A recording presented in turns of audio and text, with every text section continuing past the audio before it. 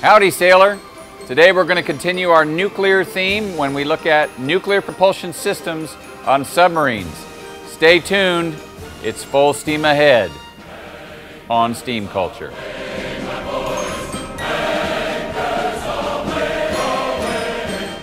So today we're going to look at nuclear power again, but today we're going to be in the submarine. It's the propulsion system that drives the whole submarine. Originated in 1955 with the USS Nautilus, and from there the technology has advanced quite a bit.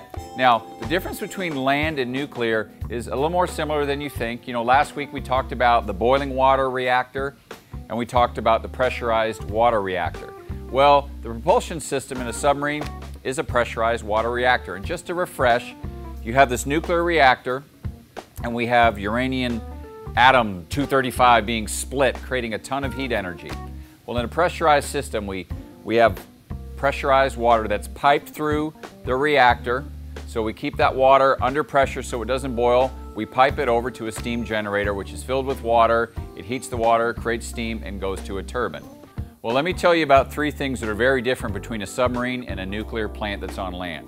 And that is the adverse conditions, the varying loads, and the uranium. Now, the adverse conditions is about a submarine moving, maneuvering, and all sorts of things like that. So the reactor has to be able to withstand to that. Two, the varying loads. Um, as opposed to being steady and just generating electricity, a submarine can be cruising along and then, you know, in a matter literally of minutes, they're maneuvering and doing other things that really puts a lot of different uh, load swings on the reactor.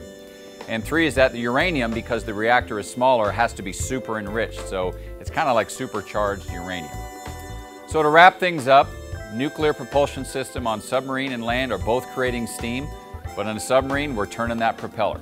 And it, not only that, I didn't mention this earlier, but you should know it turns it very quietly which is a signature of a nuclear submarine and very important because those guys are all about being undetected.